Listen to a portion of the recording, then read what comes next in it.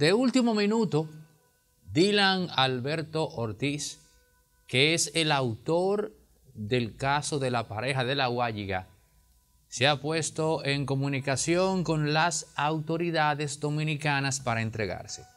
Y si ustedes escuchan que yo digo, se ha puesto en comunicación con las autoridades dominicanas y que esto a su vez les suena a la distancia, es porque en efecto Dylan Alberto Ortiz está ahora mismo en Estados Unidos. Y desde Estados Unidos, a pesar de que se puede interpretar como que se escapó, él se ha puesto en comunicación con las autoridades y se va a entregar. Esto es raro, porque le escapó. Es un misterio que lo obliga a ponerse a disposición de las autoridades dominicanas estando ya en Estados Unidos. Pero también los otros secuaces escaparon. Unos se fueron a Puerto Rico, otros se escaparon en lanchas, pero tampoco están en el país. Y cuando el abogado de él habla de que lo va a, entregar de una sola pieza a las autoridades, ustedes podrán pensar que él está abogando por sus derechos humanos. No necesariamente. Dylan lo que está procurando es no quedar a mano de oficiales corruptos dentro de la policía con los cuales él tenga algunas cuentas pendientes o con los cuales tenga negocios en común.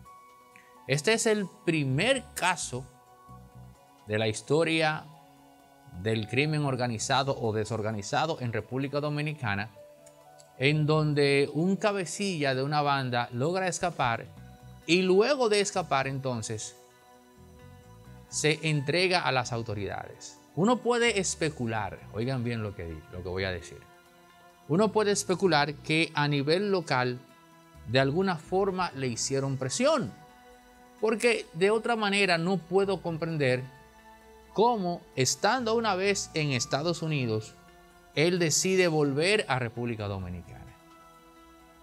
Pero también tenemos que recordar que estamos ante el caso más chapucero. Y digo esto porque esta banda armó todo aquello para deshacerse de Jaques y en última instancia de su pareja sentimental e incluso liquidaron a un vecino que fue testigo de, oigan eso, liquidan a un, a un vecino para que no los identifique y ellos no calcularon que la identificación estaba ya al vuelo porque habían alquilado a su vez una jipeta y que para colmo cuando fueron a buscar esa jipeta dieron datos de identificación verídicos, no falsos, con lo cual fue muy sencillo dar con la identidad de los miembros de esta banda. Es decir, ellos se toman la molestia de liquidar a una persona que posiblemente los iba a reconocer pero se les pasó, se les chispoteó que en el momento que alquilaran la jipeta iban a ser reconocibles. Pero más aún, despachar los cuerpos de Jaques y su pareja en un pozo séptico en los Alcarrizos, a escasos metros de donde vivían dos de los implicados. Dylan Alberto Ortiz en cualquier momento está pisa suelo de República Dominicana porque se va a entregar. Queda como misterio de momento. Básicamente, esto de, eh, de por qué. Y en otro comentario, yo hablo, porque las cosas no son tan fáciles tampoco, del giro que podría tomar el caso. Sí, ese mismo caso de la Guayiga.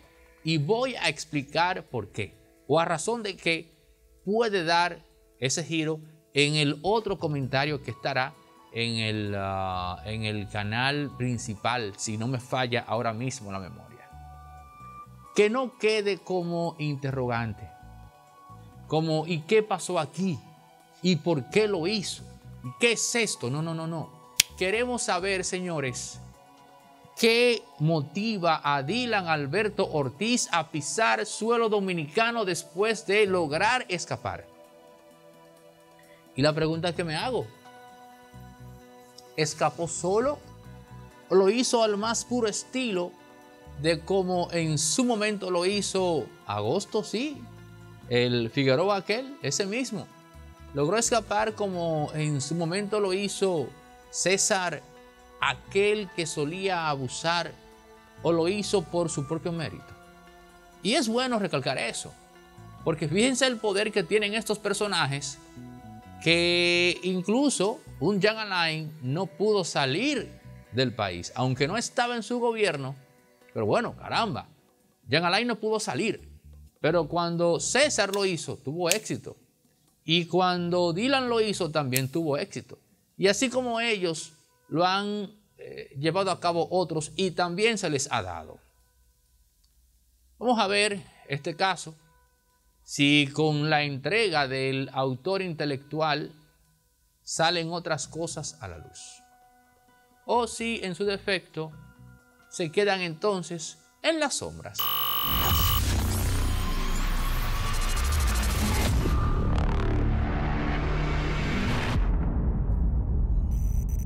Señores, tenemos nuevos proyectos en Resorte Media. Estamos hablando ya no solo de Terradar 3.0, que es nuestro canal internacional. No estamos hablando ya solo de Impolíticamente Correcto, ni de Dónde se cae el show o el otro canal de Aneo Santos. Estamos hablando de La Quinta Pata con Edwin Cruz, José Maracayo, Mario Herrera y Fernando González. Para que te suscribas puedes entrar ahora mismo al link que estás viendo acá encima de mis dedos, puedes hacer link y vas a caer directamente en la quinta pata para que te suscribas y le des seguimiento a sus contenidos, comenzando, calentando el brazo de lunes a viernes con un capítulo.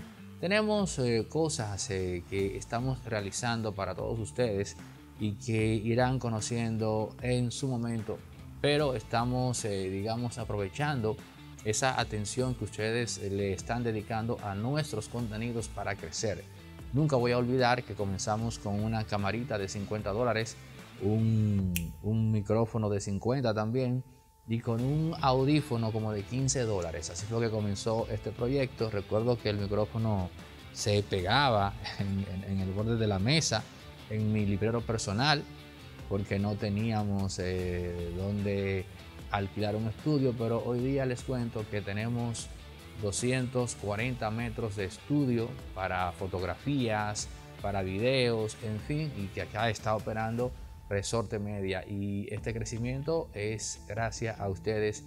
Estamos agradecidos del público dominicano, unas cuantas personas en el extranjero que nos siguen, que no son necesariamente dominicanos, y también también los dominicanos en el exterior. Aprovecho, por cierto, para saludar a controlandoelegido.com Eddie Olivo, el CEO de www.controlandoelegido.com, que se escribe con J, el barrio de Santiago, haciendo una labor en Estados Unidos, comunicando, informando a los dominicanos que están allá y los dominicanos de acá informándose de cómo están las cosas allá en Estados Unidos. Algunas informaciones que traemos desde la diáspora son gracias a www.controlandoelegido.com con Eddie Olivo a la cabeza. Nosotros eh, queremos seguir creciendo y para eso contamos con el apoyo de ustedes. De este lado, un equipo ya de 10 personas. Está Harvey, están nuestros tres editores, está, está José Maracayo, Está, ¿quién se me queda? Vamos a ver, ¿a quién más está? Está, vamos a ver. ¿Quién, quién, quién? Ah, oh, Borges, está también Borges, ahora que, recuerdo, pertenece al equipo. Y nada, vamos a seguir trabajando, señores, eh, para que esto siga, eh, siga creciendo.